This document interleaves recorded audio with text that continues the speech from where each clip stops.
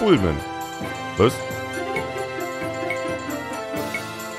Ach, der Zwerg steht vor mir. Okay, kein Wunder. Den habe ich nicht gesehen, der war so klein. Elf Leben. Die haben doch sehr unterschiedliche Lebenszahlen, ha? Äh, kein Bogen mehr?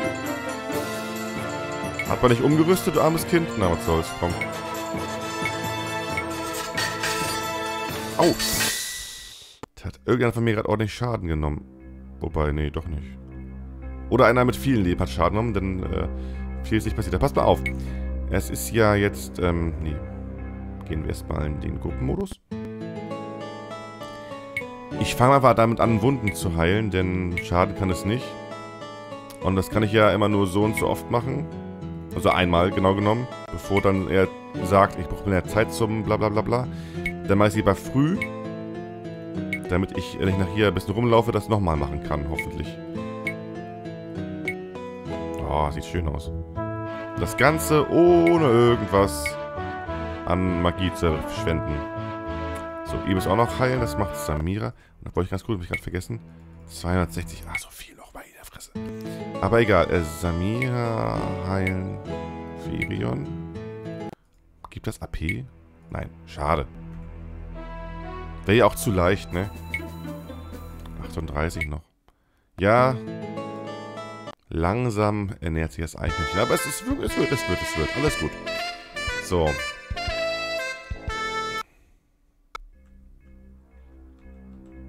Also, na, toll. Das auch nicht. Auch nichts. Spannende Gegend hier. Hammer spannend. Achso, es war ja im Kampf, aber gerade bereits auf, war es ja ein riesiger luftleerer Raum quasi gewesen. Und das Kampfgebiet gibt ja eigentlich die Karte doch, in der man, also den, den Bereich, in dem man gerade ist, relativ genau tatsächlich wieder. Also nehme ich an, hier ist auch weiter nichts. Ne, ja, guck mal, genau das war irgendwann die Kampfmap gewesen. Wir haben hier gekämpft, da war alles frei. Ja, das meine ich doch. Okay. Dann wollen wir mal weiter. Oh, eine Tür. Also, wenn überhaupt, dann ist Taya im Bereich des Möglichen für ein relativ nahes Level-Up. Der Rest scheinbar gar nicht. Was ich komisch finde, denn so ein massiver Unterschied von, den, von ihr zu den anderen, ähm, den hätte ich mir in Schicksalsklinge erklären können, wo ihr das Schlossknacken immer AP gegeben hat. Das ist ja hier irgendwie nicht der Fall, warum auch immer. Aber in Schicksalsklinge war es eben so. Und äh, wie gesagt, deswegen weiß ich nicht genau, wieso das jetzt hier mit dir so ein großer Abstand ist, aber naja. Oh. Ach, hier war ich auch schon drin gewesen, oder? Ich bin gerade zurück. Ja, toll. Hat er nicht gemerkt. Ja, hätte ja sein können, dass noch so ein Raum so ähnlich aussieht. Jetzt muss ich nach rechts. Ja. Wobei, nee, hier links ist eventuell was. Oh, oder auch nicht. Dann bin ich ein bisschen im Kreis gelaufen hier. Schön. Sehr schön. So, rechts lang. Oder? Äh, ihr steht in einem großen Raum, der offensichtlich als Schmiede dient. Das ist schön. Kann hier was schmieden hier. Hm.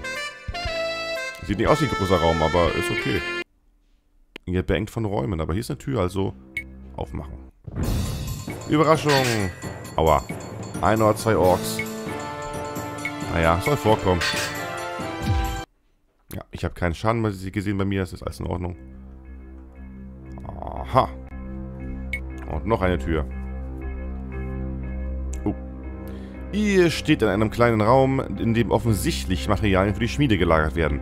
Holz, Holzkohle und mehrere Barren Roheisen. So recht von Interesse ist davon allerdings nichts.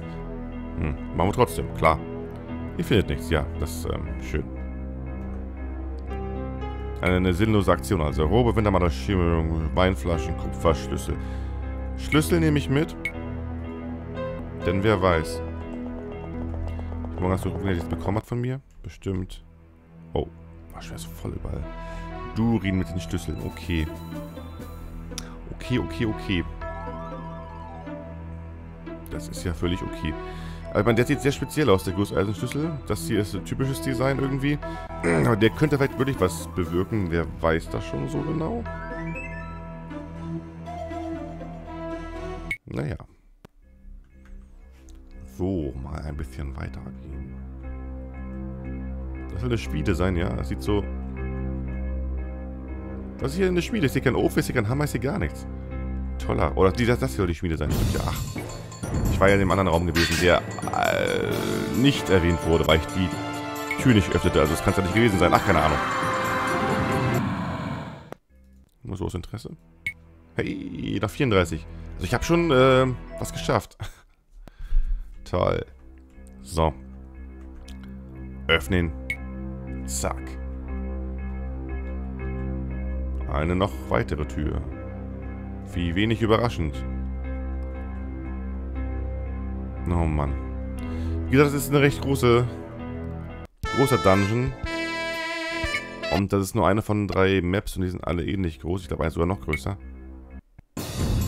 Hey. Ah, siehst du, das ist ein Kriegsoger, sehe ich gerade. Und das davor war dann, das da oben ist auf mal nur normale Oger. Stellt sich mir die Frage allerdings, hatte ich jemals zuvor Kriegsoger gehabt im Kampf? Denn wenn nicht, hätte es ja erst Begegnungs-AP geben müssen und so kam es mir nicht vor. Au. Da hat Durin aber auf den Deckel bekommen hier. Aber die geben ein paar mehr AP auf jeden Fall als normale Orks. Das heißt, das mit dem Level-Up ist doch wieder in Reichweite. Hier liegt ein kleines Handbein eines Ogers am Boden. Da spricht erstmal nichts dagegen. Würde ich sagen. Irgendwas ist hier nicht in Ordnung. Vielleicht spricht doch was dagegen. ich weiß es nicht. Nö, ich kann einfach rein. War das... Ah, einer meiner Schlüssel jetzt für alle Türen verantwortlich vielleicht? Sorgfältig in gewachstes Tuch eingeschlagen ruht in dieser Truhe das Kriegsbanner der Orks. Eine Fahne von gut vier Reich Rechtsschritt... Rechts... Rechtsschritt? Was soll das denn sein? Größe, also eine Größenangabe offenbar, aber ich kann mir noch nichts vorstellen. Die mit allerlei blutrünstigen Szenen bestickt ist. Wollt ihr das Banner zerstören? Ja. Genüsslich zerreißt ihr die Fahne in kleine Fetzen. Bababam. Das weiß ich auch noch aus der Lösung. Da stand, das kann man ruhig machen. Habt Spaß dabei. Läuft. Kriegskasse der Orks. In mehreren Lagerbeuteln, Lagern, Lederbeuteln. Schmuck und Geld. Oha. Ja. Nein. Oh, jetzt bin ich also mit einem voll. Super. Ähm, ja, super, wie gesagt. Hammer. Goldschmuck. Jetzt kann ich nichts mehr tragen. Aber weißt du was? Sowas kann ich wegschmeißen. Ähm, ich bin sicher, dass andere gibt mir mehr Geld und äh, ist dabei sehr viel besser in der Tragbarkeit und so weiter wegwerfen. Ja. Werde ich sowieso niemals benutzen. Also, was soll's? Ganz ehrlich. Ähm, aber ich muss auch dann tatsächlich nicht alles mitnehmen, denn ich, ich habe ja auch, wenn man es einfach mal so sagt, wie es ist, mehr als genug von allem. Geld, hauptsächlich. Und, ähm, ja, also was soll ich damit? Ich bin nur geneigt, einen Orkschmuck wegzuschmeißen, denn auch das brauche ich nicht. Orksäbel brauche ich ja auch eigentlich nicht. Aber ich weiß wiederum, dass ich die Ork-Sachen äh, tatsächlich benutzen könnte. Denn äh, es gibt hier in diesem, das weiß ich auch auf jeden Fall definitiv noch, in diesem ganzen... Irgendwas, was denn ist denn nicht in Ordnung? Das äh, ist verdächtig. Aber sagt man nicht weiter dazu. Oh, hier geht's rund. Nee, ist... Vorsichtig, steigt die Stufen ab. Doch. Nächste Level. Nee, da, da gehe ich noch nicht hin ja, wieder hoch. Ist auch, als wenn es hier in der Ebene runtergehen würde und nicht in den neuen Level, aber ist okay. Jedenfalls gibt es hier ein, ein quasi Gefängnis, in das man noch kommen wird oder können, kommen können wird. Und da kann man sich einen Ork rekrutieren, der das Orkzeug ausrüsten kann. Und glaube ich auch nur das Orkzeug. Nee, danke. Doch nicht. Und ich weiß nicht, wie ich es machen will, denn wir wissen ja, die klauen uns quasi die AP, wenn sie mitreisen. Aber per se ist es ja eine Idee. Und wenn ich es machen sollte, hätte ich was, um ihn auszurüsten. Generell glaube ich aber auch, ich brauche hier überhaupt nichts mehr an, an... Ich muss nicht mehr groß an AP denken in diesem Spiel, denn ich denke, damit bin ich im Wesentlichen durch. Also könnte ich mir so einen NPC als äh, quasi wanderndes Inventar, Extra-Inventar eher vorstellen. Brauche ich alles nicht. Was das? was ist denn das hier für ein langweiliges Zeug? Nee. War ich dran, ne, an der Truhe? Ja, ja. Und daher wäre es vielleicht die Idee, den Ork mitzunehmen. Ich weiß ja nicht genau. Aber ich glaube, ich habe die Wahl zwischen drei Helden. Wobei der eine eben der Ork ist und ähm, der andere so ein ganz komisches Wesen, das ich nicht unbedingt dabei haben möchte. Und ähm, noch irgendein dritter, glaube ich, war gewesen. Ich bin mir nicht ganz sicher. Äh, wenn wir jemals ins Gefängnis kommen sollten, kriegen wir es ja nochmal raus. Oh. Der unregelmäßig geformte Raum wird von einigen Fackeln schwach erleuchtet. Der Boden ist mit Teppichen und Tierfällen bedeckt. Von der Decke hängen Kräuterbündel, seltsame Fetische und verschiedene Metallteile. Metallteile. Ein strenger nach Kräutern erfüllt den ganzen Raum. Und zwei Oger. Und was ist das für einer? Die kenne ich aus Teil 1 schon, oder? Ork-Veteran. Habe ich die ja hier auch schon gehabt? Ich glaube doch. Das ist eine Novelle her, ha? Ja, ich habe keinen Schaden genommen, das ist wunderbar. Hm, ist da wieder 2 AP. Komisch. Also es müssen offenbar diesen, diese dicken Oger-Typen sein. Für mehr RP. Was ist das hier? Einfach nur eine Decke. Dieses kleine Kästchen aus e- Edelholz ist über und über mit Kupferplättchen beschlagen. Der Deckel fehlt offenbar und somit seinen Inhalt. Und offenbart somit seinen Inhalt. Eine mumifizierte Hand und eine kleine Kupferscheibe. Mumifizierte Hand. Ich bin sicher, das hatte ich irgendwo auch gelesen, aber... Ob ich es brauche... Wer weiß, wer weiß, aber... Ich plötzlich durch Verteidigung an, durch... Ähm... Okay. Die Hand war keine gute Idee. Nein, verdammt, ich wollte... Kupferscheibe dann. Okay, vorsichtig nehmt ihr die Kupferscheibe aus dem Kästchen. Das hat bestimmt eine Bewandtnis mit dem Ding, da bin ich fast sicher. Durin entdeckte, dass die Kupferscheibe, ah, siehst du gleich daneben, aus dem Schrein offensichtlich genau in eine Vertiefung im Truhendeckel passt. Ohne lange nachzudenken, legt er die Scheibe in ihren Platz, dreht den Gusseisenschlüssel um, ach, das auch noch, und siehe da, die Truhe ist offen. Staub, oh, 400 gar keine Magie mehr dann. Gib ihm. Edelstein klingt auch lecker, aber nee, ich brauch mal voll. Dann würde ich sagen, gebe ich doch mal dem Firion einen Zaubertrank. Und schmeiß die Flasche dann weg.